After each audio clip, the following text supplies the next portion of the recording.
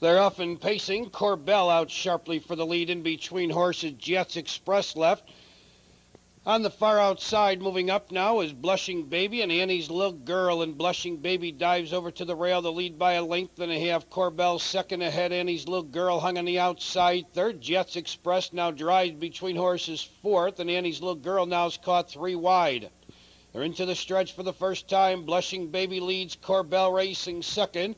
Quarter time 28 and 3.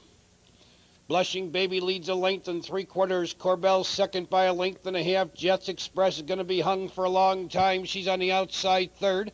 Kim Cam along the inside fourth. Annie's little girl on the rail fifth. Three lanes back to Dancers double sixth. Another two back to Fox Valley Jubilee seventh. Trailing the field, Lake Hills Brenda. They race over to the half mile pole. Uncontested on the front end is Blushing Baby. She's standing tall, leads a length and a half. Corbell's been second every step of the way. Jets Express hanging out there third. Half was in 58 and 1. Less than a half mile the pace in the race, and Blushing Baby leads by two and a half. Corbell trying to stay with her in second.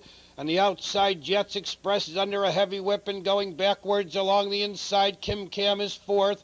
Looking for Racing Romani's little girl fifth, moving three wide around the last turn is Fox Valley Jubilee. Right behind her is Lake Hills Brenda, now trailing Dancers double. Three quarters, 127 and four as they turn for home. Blushing Baby is all by herself. She draws away by five. Corbell still racing second. Fox Valley Jubilee a distant third. Final eighth of a mile for Blushing Baby. She leads by six. Corbell trying to hold second. Fox Valley Jubilee third. A late move by Dancers double and Lake Hills Brenda.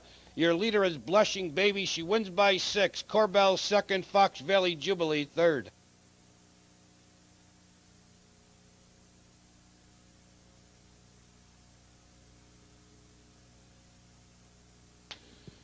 In Balmoral's second race, six Blushing Baby is your unofficial winner. Two Corbell finished second.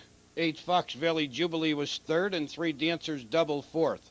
Your unofficial Perfecta 6-2. Please hold all tickets. Let's go to Maywood. Ladies and gentlemen, we're six minutes away from starting time for the seventh, sixth race, seventh, second race here at Maywood Park. Perfecta wagering on this race. We have six minutes to Maywood's second race.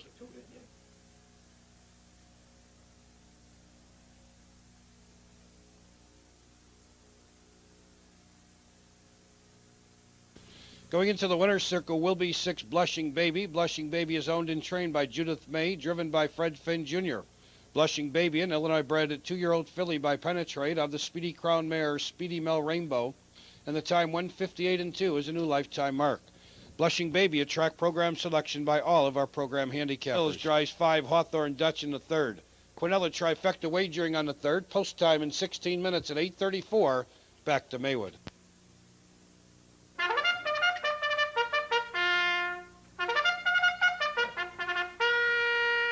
Ladies and gentlemen, horses are on the track for the second